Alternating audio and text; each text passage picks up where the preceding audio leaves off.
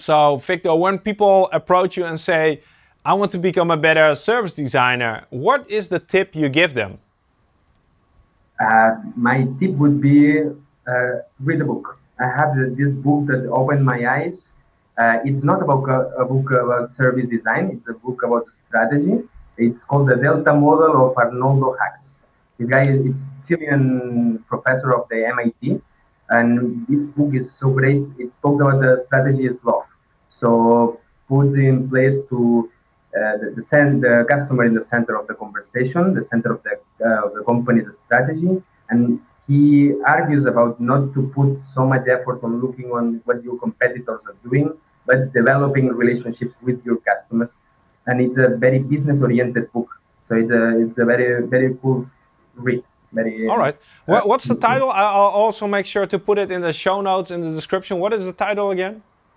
Delta Model. I can yeah, I, I, will make sure to put it in the, in the description. Cool. Uh, book recommendations. We don't get them a lot, but learn about strategy. That's that's the tip.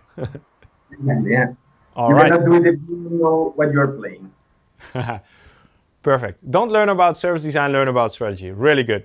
Um, no, no, no. Both of them. so was this a helpful tip by Victor? Let me know by clicking that like button or leave a comment down below.